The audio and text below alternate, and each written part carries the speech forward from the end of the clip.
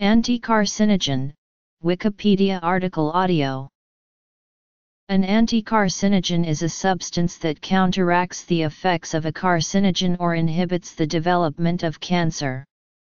Anticarcinogens are different from anticarcinoma agents in that anticarcinoma agents are used to selectively destroy or inhibit cancer cells after cancer has developed. Interest in anticarcinogens is motivated primarily by the principle that it is preferable to prevent disease than to have to treat it. In theory, anticarcinogens may act via different mechanisms including enhancement of natural defenses against cancer, deactivation of carcinogens, and blocking the mechanisms by which carcinogens act.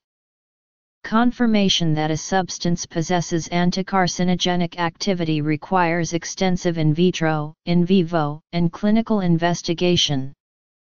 Health claims for anticarcinogens are regulated by various national and international organizations like the U.S. Food and Drug Administration and European Food Safety Authority.